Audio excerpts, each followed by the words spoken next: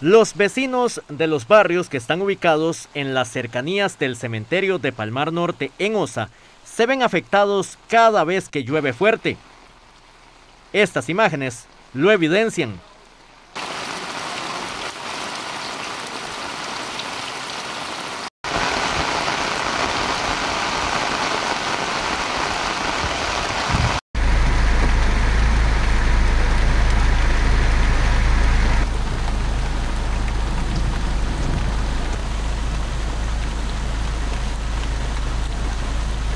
Uno de esos casos, el de Daniel Alfaro.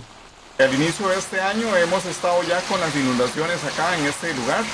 Eh, se ha tomado algunas medidas, digamos a la municipalidad se le ha manifestado el asunto que se están inundando las casas. Dijeron que iban a venir a arreglar lo que era el desagüe, pero hasta la fecha no lo han hecho. Vamos a ver aquí más adelante en el transcurso de este año a ver qué es lo que va a pasar si tenemos una respuesta positiva de la municipalidad de Osa. El problema, según los vecinos, es que cuando se llevó a cabo el asfaltado de la vía, no se tomó en cuenta realizar un buen alcantarillado que sacara las aguas pluviales.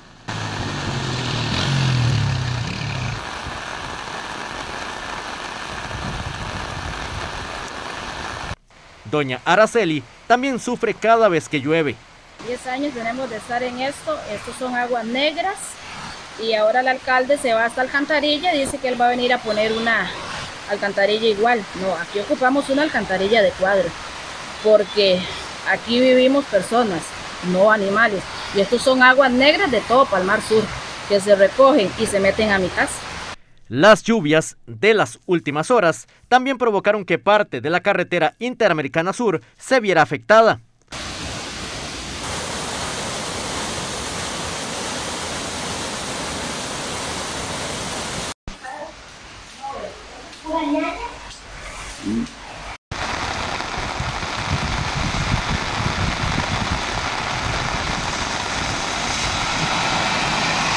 Todos los días es zozobra que llueve y ya tenemos que subir todo.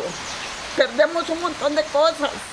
Pero no, ellos, ellos no ponen de su parte, no quieren ayudar. Yo considero que no quieren ayudar.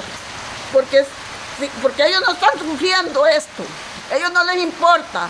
Yo sí, yo pierdo muchas cosas, animales, todo. Y, y, no sé qué es lo que piensa la municipalidad de esto, no sé, yo no entiendo.